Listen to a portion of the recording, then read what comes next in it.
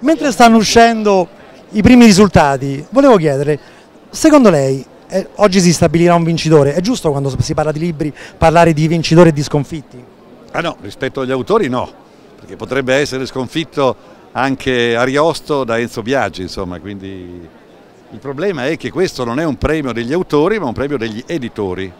Il premio Bancarella, che è un premio più corrotto di questo, è un premio dei librai e quindi della capacità che i librai hanno di indicare quello che è il libro che ha più potenziale di vendita o che ha già più venduto. Io addirittura lo vinsi tanti anni fa contro Mar Garcia Marquez perché Garcia Marquez non era presente e io ero il giovane più promettente per il mercato, infatti il libro vendette 250.000 copie.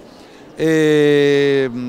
viceversa lo Strega è effettivamente un premio politico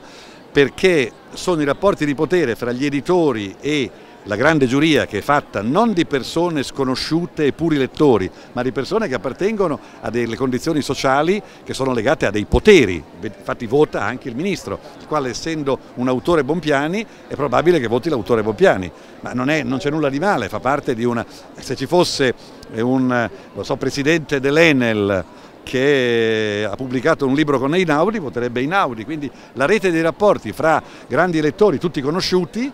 io sono uno dei pochi personaggi famosi che non sono nello strega, ne sono eh, contento perché sarei corruttibilissimo, cioè io voterei solo i libri di mia sorella, quindi non avrei alternativa, essendo un autore Bompiani ed essendo lei la Bompiani. Grazie, buona serata, grazie.